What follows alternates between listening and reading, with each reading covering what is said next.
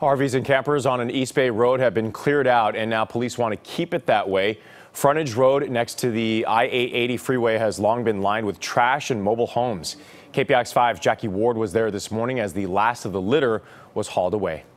Every 20 feet or so, there's a so-called boulder along this stretch of Kato Road where there used to be an RV or car. The city of Fremont is hoping these will discourage people from moving back. This is not an appropriate place for um, you know people to be living and for recreational vehicles to be parking. Before police came in this morning, this is what a 1,700 foot section of Kato Road looked like. This is after. No trash, no RVs, no trailers, and no trucks. Fremont is calling this phase one of the Kato Street project.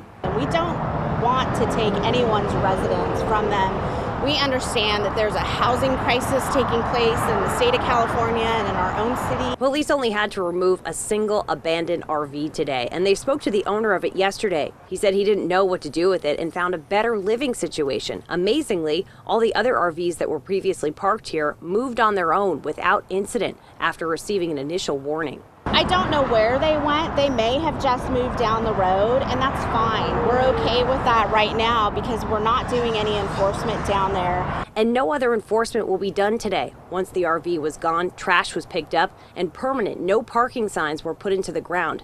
Then these so called boulders came in to really drive the no parking message home. Homeless people aren't the only ones who used to park here. Truck drivers who work for Tesla also sleep here overnight. Tesla is now working with the city to find another solution. In Fremont, Jackie Ward, KPIX 5. Up next, the city manager's office will evaluate today's work on Kato Road and will determine if they have to move forward with phase two. That may take place a couple of weeks from now.